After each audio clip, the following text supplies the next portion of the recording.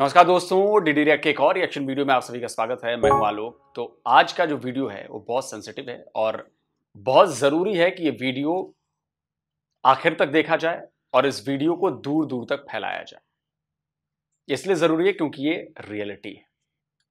Video का title है why the Sabarmati report is a benchmark film for the true Indians अब Sabarmati report तो आप लोगों को पता ही होगी। नहीं बताया तो मैं बताता हूँ। गोधरा कांड के ऊपर ये रिपोर्ट आई है और इस पर फ़िल्म आ रही है जी। इसी नाम से ना द साबरमती रिपोर्ट, ये फ़िल्म का नाम है, ये इसी पर फ़िल्म आ रही है। ये गोधरा पर फ़िल्म बनी है जो गोधरा में हुआ और गोधरा कांड के बाद जो हुआ, उस पर भी शामिल है। लेकिन आज तक देश से गोधरा कांड का सच छुपाया गया है। थोड़ी मोड़ी जानकारी इधर उधर से मिलती रही है, लोग मीडिया में कहते रहे लेकिन इतने पुख्ता तरीके से और इतने बोल्ड तरीके से ये बात अभी तक कभी कही नहीं हुई और ये फ़िल्म आ रही है, अब इसमें पूरा कच्चा चिट्ठा रियलिटी पूरी देश, दुनिया, हर कोई देखेगा, कोई कोई समझेगा कि गोधरा कांड क्या था ट्रेन को कैसे दरवाजे बंद किए गए, कैसे उसमें पेट्रोल बम मारे गए, कैसे ट्रेन को जलाया गया, कैसे वो उनसठ लोग, साठ लोग ज़िंदा जल गए, जिसमें मतलब बच्चे थे। और उसके बाद जो हुआ, उसकी चर्चा तो पूरी दुनिया करती है। पाकिस्तान और ये वो सब करते हैं। गुजरात में क्या हुआ, गुजरात में क्या हुआ, लेकिन कोई गोधरा कांड की बात नहीं करता कि जो गोधरा कांड हुआ, उसके बाद क्या हुआ।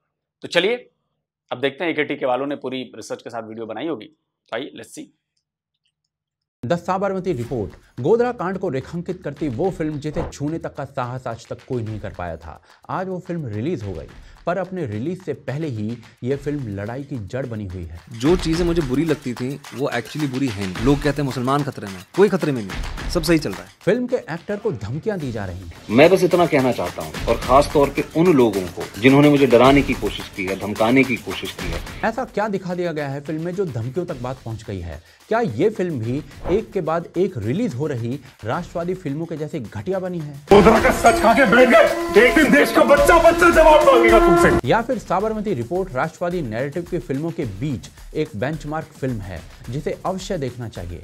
जानने के लिए वीडियो को अंत तक देखें और चैनल को सब्सक्राइब कर लें।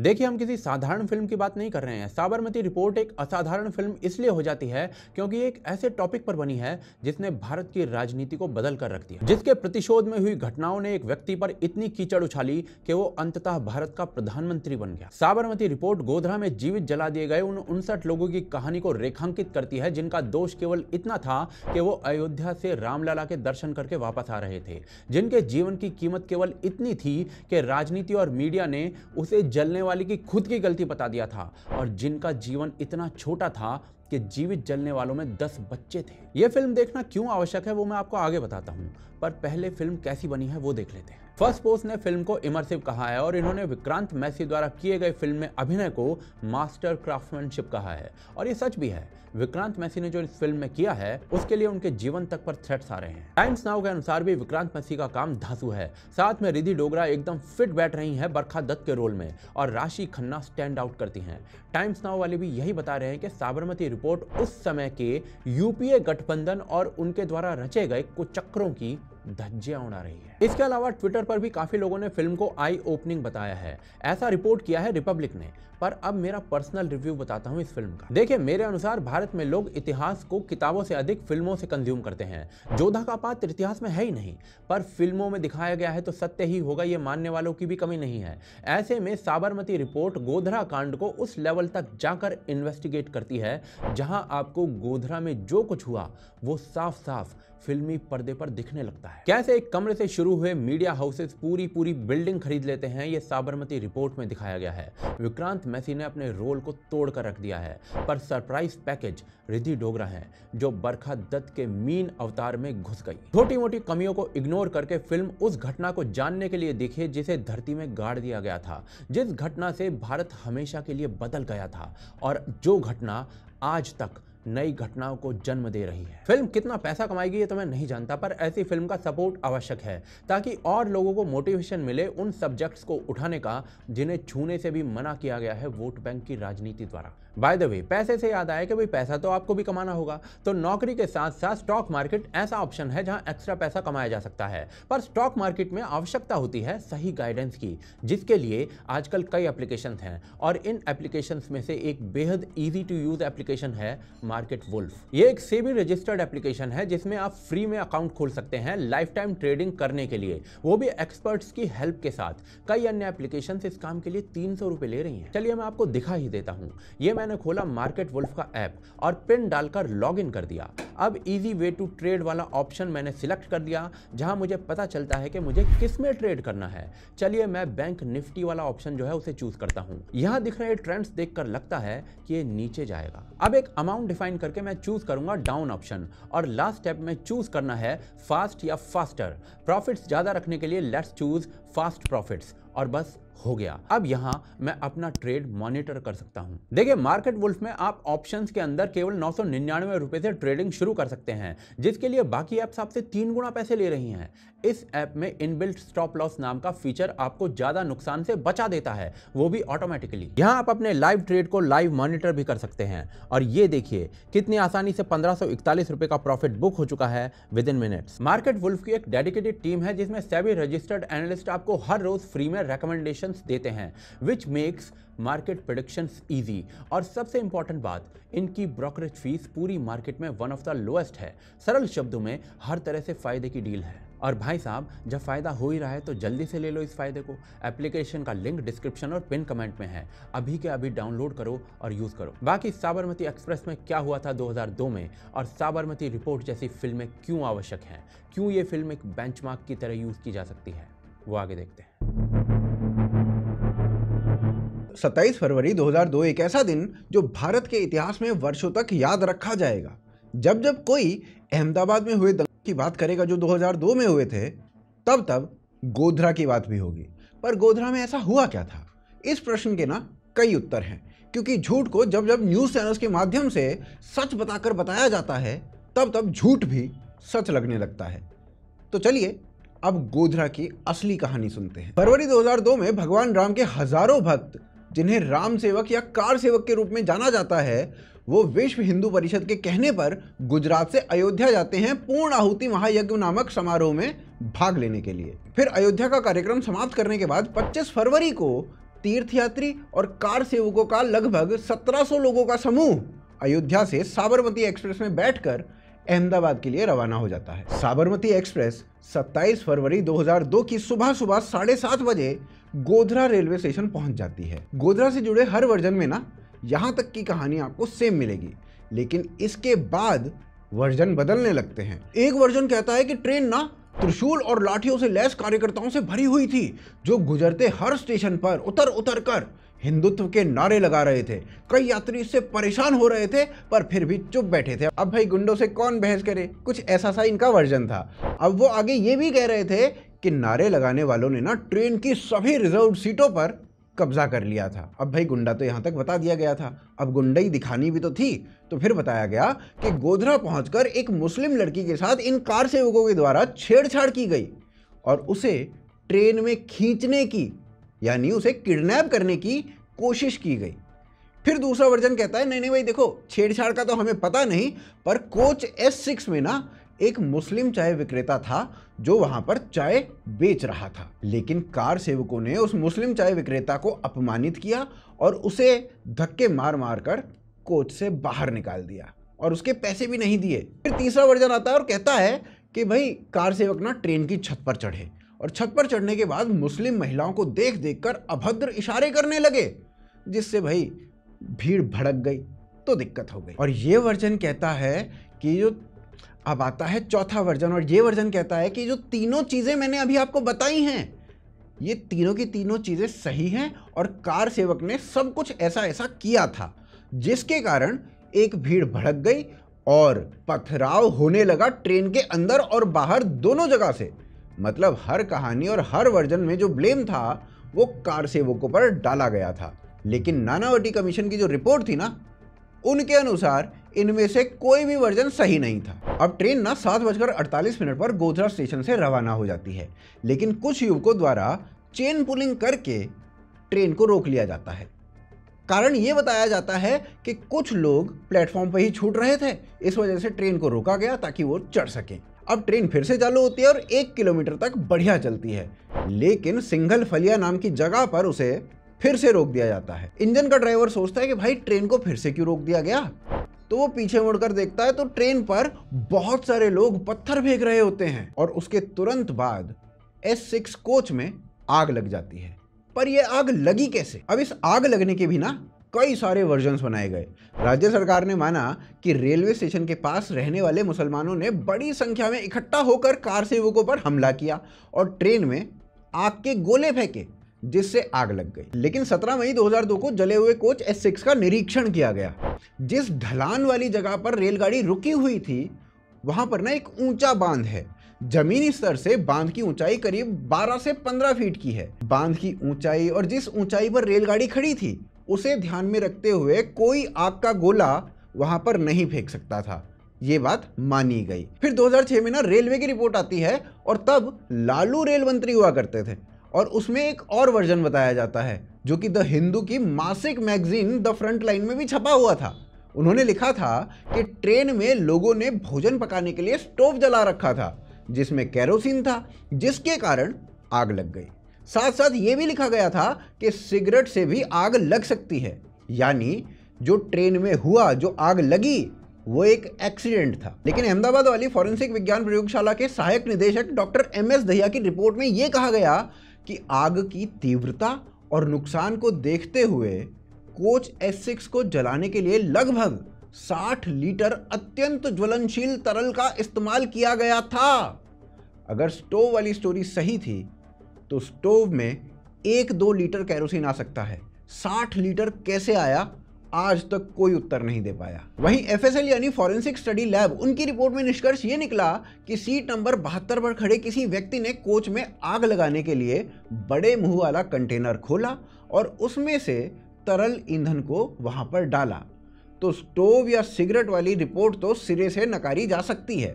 और 2011 में कोर्ट ने माना भी ये है कि ये कोई एक्सीडेंट तो नहीं था। तो भाई, जब ये कोई एक्सीडेंट नहीं था तो अब बात आ जाती है कि 60 लीटर पेट्रोल किसने डाला और आग किसने लगाई?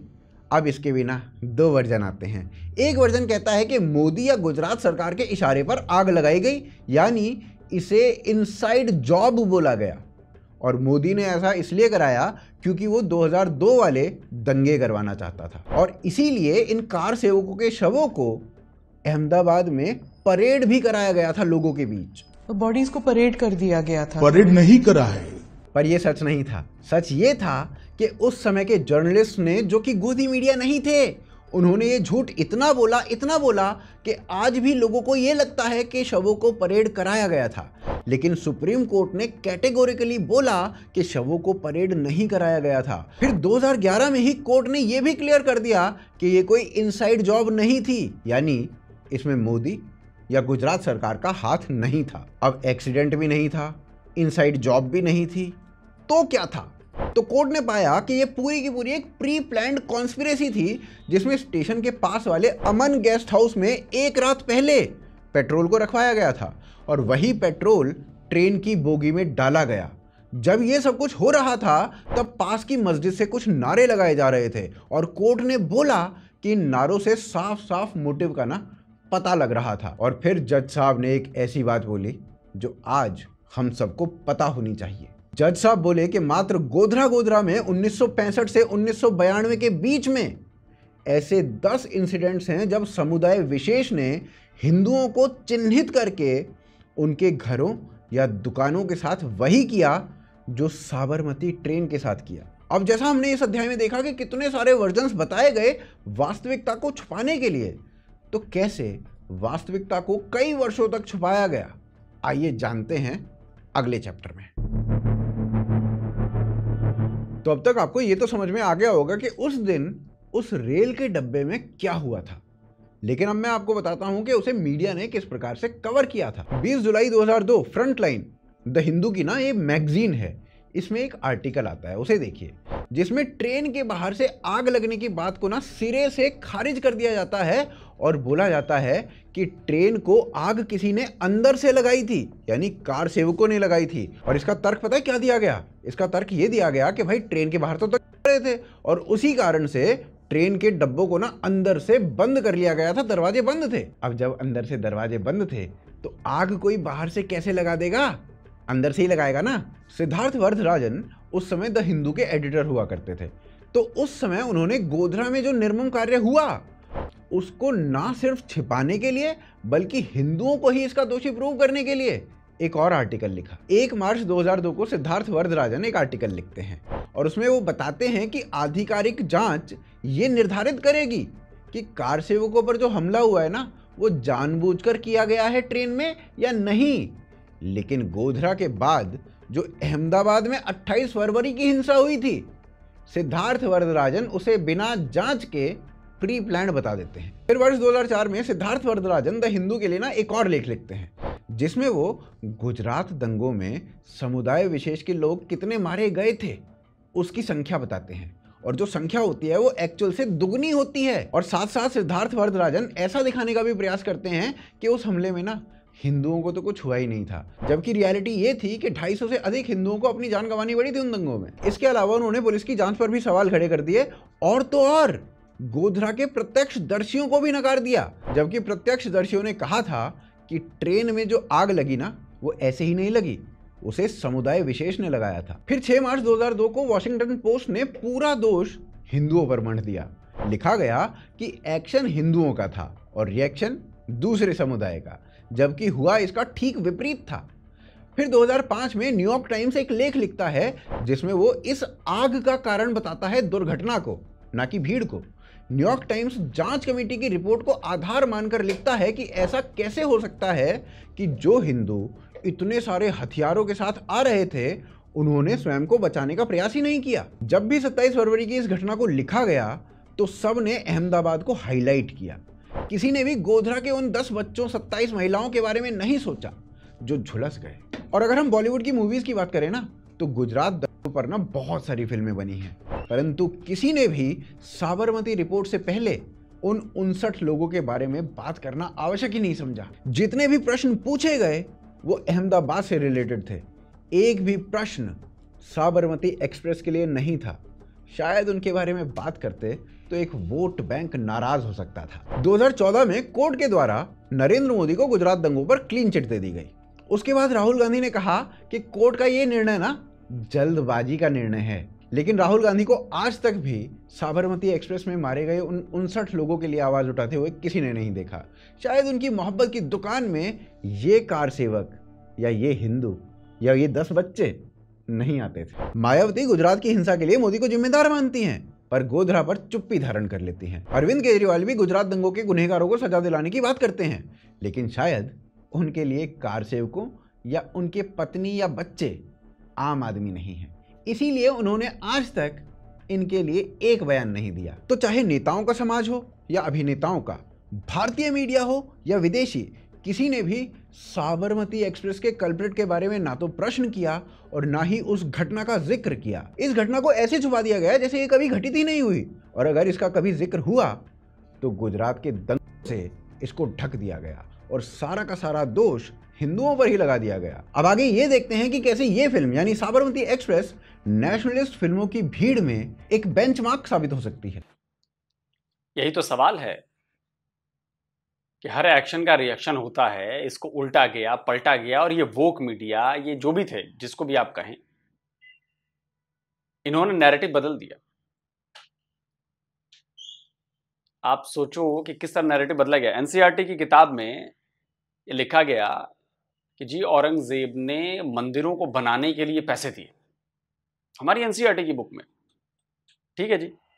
तो एक साहब हैं, उन्होंने आरटीआई लगाई कि भाई बताया जाए कि एनसीईआरटी की बुक में जो ये लिखा हुआ है, शायद एनसीईआरटी की बुक है, उसमें लिखा गया है कि औरंगज़ेब ने मंदिरों के निर्माण के लिए पैसे दिए गए, इसका रेफरेंस क्या है? कहीं पे लिखा हुआ है इतिहास में, कहीं पे कोई शिलालेख मिला, कोई कोई दस्तावेज़ मिला जहाँ पर इस बात का ज़िक्र है। आपको पता है कि आर के जवाब में क्या है से? बोले कि नहीं, इसका कोई आधार नहीं। तो भाई, बिना आधार के बात कैसे लिख दी गई? आप हिस्ट्री को बिना आधार के तो बिना रेफरेंस के कैसे पढ़ा सकते हो और कैसे बता सकते हो? आपने फेक बात लिखी और ये किसने लिखी गई? नैरेटिव बनाने के लिए। जो काम हुआ ही नहीं, जिसका उल्टा हुआ, औरंगज़ेब ने सैकड़ों मंदिर तोड़े, लाखों हिंदुओं के चमड़ियाँ उधड़वा दी उसको अच्छा बताने के लिए नैरेटिव सेट किया गया। नहीं तो बताया ना कि भाई कहाँ लिखा है? अब उस समय के मुगल काल की किताबों में कहाँ लिखा है यहाँ पर? कहीं तो कोई एक बात लिखी होगी, कहीं तो इसका ज़िक्र आया होगा कि औरंगज़ेब में फलाने मंदिर के बनाने के लिए उसने पैसे दिए, निर्माण के लिए पैसे दिए। कहीं तो सबूत हो इसका, कहीं सबूत लेकिन किताब में बच्चों को पढ़ाया जा रहा है। क्यों? क्योंकि बच्चे बड़े होंगे तो उनके दिमाग में वो बात रहेगी। लेकिन अब ये सारी चीज़ें बदल रही हैं। देखिए, सत्य जो होता है ना, उस समंदर के अलाप जैसा होता है। उसे आप बाँध कर नहीं रोक सकते। उसी प्रकार सिनेमा का ऐसा प्रभाव होता है, कब नैरेटिव बदल दे, कोई नहीं जानता। साबरमती रिपोर्ट केवल एक चलचित्र नहीं है। ये भारतीय सिनेमा में नेशनलिस्ट फ़िल्मों की जो बाढ़ आने लगी है उन फ़िल्मों में एक बेंचमार्क है, जो उस नैरेटिव को तोड़ता है, जो मिशन कश्मीर या हैदर जैसी अनेकों फ़िल्में बनाती आई हैं। मैं साबरमती रिपोर्ट को राष्ट्रवादी फ़िल्मों की दुनिया में एक बेंचमार्क क्यों कह रहा हूँ, वो बताता हूँ। 11 मार्च 2022 को द कश्मीर फाइल्स आई थी, जिसने कश्मीरी हिंदुओं के साथ 1990 के पलायन और नरसंहार की कड़वी वास्तविकता को दर्शाया था। इसके बाद Bastar the Naxal story, the vaccine war और स्वतंत्र वीर सावरकर जैसी फ़िल्में आई। ये सभी फ़िल्में ठीक बनी थी, पर ये आउट एंड आउट कॉमर्शियल फ़िल्में नहीं थी। इनमें डॉक्यूमेंट्री वाले एलिमेंट्स काफ़ी थे। परंतु कश्मीर फाइल्स और केरला स्टोरी के सक्सेस के बाद नेशनलिस्ट नैरेटिव की अनेक फ़िल्में आने लगी, उनकी बाढ़ लग गई। राधाकार नाम की फ़िल्म आई जो ऑपरेशन पोलो से पहले हैदराबाद में राधाकार आर्मी द्वारा अंजाम दिए गई घटनाओं पर बनी थी। इसके अलावा, हम दो हमारे बार आई, जो मुस्लिम पॉपुलेशन एक्सप्लोजन जैसे गंभीर मुद्दे पर बनी थी। आखिर पलायन कब तक जैसी फ़िल्म वक्फ जैसे एट्रोशियस मुद्दे को रेखांकित करने के लिए बनाई गई थी? अजमेर 92 बनाई गई थी। अजमेर शरीफ में 1992 में हुए महिलाओं के यौन शोषण के बारे में। और कन्वर्जन जैसी फ़िल्म बनाई गई थी, लव के मुद्दे पर। इनमें से अधिकांश का तो नाम भी आपने नहीं सुना होगा। ज़्यादातर फ़िल्में इतनी बेकार थी। नेशनलिस्ट फ़िल्मों के नाम पर पैसा कमाने की ट्रिक थी और ऐसी और भी कई फ़िल्में बनी हैं। और इन फ़िल्मों ने राष्ट्रवादी नैरेटिव को मज़बूत करने के स्थान पर कमज़ोर ही किया है। सिंगम थ्री जैसी फ़िल्में ऐसे बनाई गई हैं जैसे कि बीजेपी के द्वारा स्पॉन्सर कर दी गई हों। ऐसी स्थिति में नैरेटिव की लड़ाई में हम तीन कदम आगे जाते हैं तो चार कदम पीछे हट जाते हैं। क्योंकि इन फ़िल्मों में से कई की प्रस्तुति में सूक्ष्मता का अभाव है और निर्माता ये भूल जाते हैं कि माध्यम ही संदेश है। जैसे हॉलीवुड में 1993 में बनी शिंडर्स लिस्ट आज भी हॉलोकॉस्ट और उससे प्रभावित यहूदी समुदाय के प्रति विश्व दृष्टिकोण को प्रभावित करती है।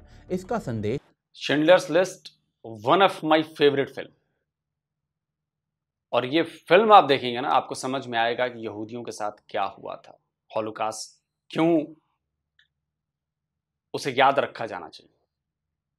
बहुत कुछ सिखाती है वो फ़िल्म तो इतिहास का एक सबूत है फ़िल्म तो जिन्होंने शिंडलर्स लिस्ट नहीं देखी है प्लीज़ आप जाकर देखिए, तब आपको समझ में आएगा कि कितनी ज़बर मूवी बनी थी वो।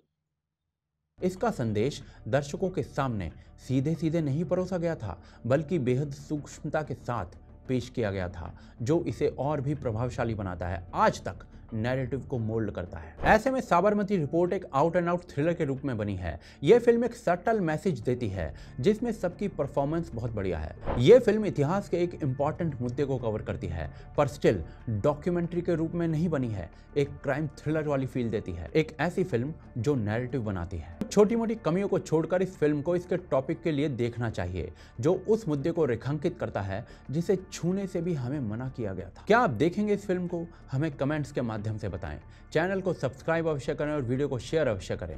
मार्केट वुल्फ पर अकाउंट खोलना एकदम फ्री है और इसके दो मिलियन से ज़्यादा डाउनलोड्स हैं। मैंने इसका लिंक डिस्क्रिप्शन और पिन कमेंट में डाल दिया है। अवश्य चले दोस्तों, वीडियो खत्म हो गया और ये फ़िल्म ज़रूर देखनी चाहिए। देखिए, कुछ चीज़ें इसलिए देखनी चाहिए कि आपको पता रहे कि सच्चाई क्या है। कुछ देखिए, फिर जाकर उस पर और रिसर्च करिए। अगर आपको उस फ़िल्म पर सवाल उठते हैं तो सवाल के जवाब तलाशी। और जवाब मिलेंगे आपको।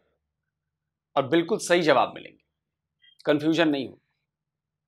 तो आजकल जो ये रोना मचाया जाता ना, इतने हुआ गुजरात दंगे हुए, ऐसा हुआ, वैसा हुआ, उसके बाद फिर कभी गुजरात में दंगा नहीं हुआ। ठीक है? और दूसरा, कि गुजरात के दंगे क्यों हुए, उसकी वजह जाननी बहुत ज़रूरी है। वो वजह थी गोधरा में ट्रेन को जला देना, मुस्लिम समुदाय के द्वारा। तो इसलिए बहुत ज़रूरी है कि आप हर पक्ष को देखें, समझें और उसके बाद उस पर निर्णय तय करें। और निर्णय एकदम क्लियर है वहाँ पर। अगर गोधरा नहीं हुआ होता, अगर उस ट्रेन में आग नहीं लगाई गई होती तो फिर कुछ नहीं हुआ होता। तो फिर इतनी हाय तोबा नहीं मचती, ये हिंदुत्व और ये और वो, ये सब नहीं होता। लेकिन नफरत इतनी भर दी गई है उसके अलावा कुछ नज़र ही नहीं आता। तो दोस्तों आप क्या कहते हैं? मुझे तो आ, लग रहा है कि इस वीडियो को ज़्यादा ज़्यादा शेयर करिए और फ़िल्म ज़रूर देखिए साबरमती जाकर। और अपने बच्चों को दिखाइए पता करिए उनको उनके दिमाग में भरिए कि देखो ये हुआ था। सच्चाई जानना बहुत ज़रूरी है बहुत ज़रूरी है। सबको पता होना चाहिए कि क्या होना चाहिए सामने वाली पार्टी को भी और हमें भी। कि बात समझ में आए और ऐसा दोबारा न हो, इसके लिए कोशिश की जाए। किसी भी पक्ष के द्वारा कि ऐसी घटना दोबारा न हो, ये चिंगारी दोबारा न भड़के, ये आग दोबारा न लगाई जाए, क्योंकि अगर आग लगेगी तो उससे बड़ी आग जलेगी और और फिर उस आग में सब जलेंगे। और जो ताकतवर होगा फिर देखी जाएगी। लेकिन ये हल नहीं है। हल है कि उस चिंगारी को लगने ही नहीं जाए, उस आग को नहीं लगाया जाए। अब डिपेंड आप लोगों पर करता है। आप बताइए, आप क्या कहते हैं? क्या ऐसी फ़िल्मों का आना ज़रूरी है? कमेंट में ज़रूर बताइए। जल्दी मिलता हूँ एक और नए वीडियो के साथ। नमस्कार। जय हिंद। तो अगर आप चाहते हैं मुझसे बात करना, मुझसे कोई सवाल पूछना तो फ़ैन कॉल पर आप मुझसे कनेक्ट हो सकते हैं। फ़ैन कॉल में ये सुविधा है कि आप अपने हिसाब से वहाँ पर जाकर टाइम स्लॉट बुक कर सकते हैं कि आपको फलाने दिन मुझसे बात करनी है, फलाने टाइम पे मुझसे बात करनी है। लेकिन ये भी बता दूँ कि ये पेड सर्विस है।